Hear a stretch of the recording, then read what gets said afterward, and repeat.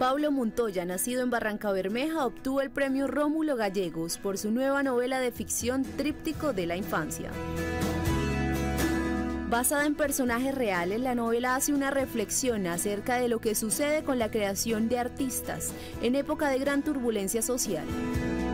El pasado jueves 4 de junio, Pablo Montoya, quien es profesor de la Universidad de Antioquia en Medellín, fue galardonado con este importante premio internacional en su versión número 19.